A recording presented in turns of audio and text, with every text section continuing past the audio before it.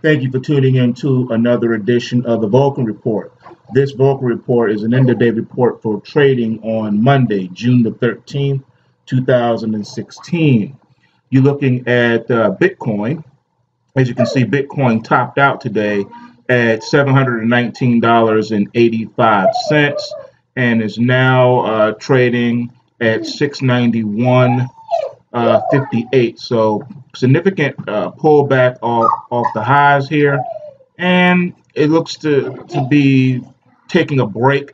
It's had a very significant run up. All things being equal, um, the market still remains pretty well supported. And we'll have to wait and see uh, if it's going to power up again going forward.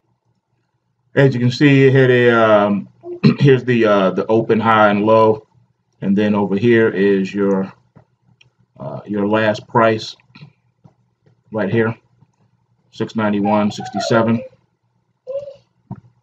and that's about it. I think it's going to continue to to trek higher.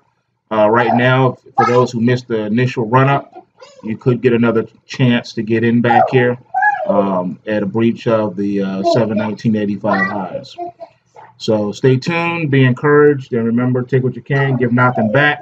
Bulls make money, bears make money, and pigs get slaughtered.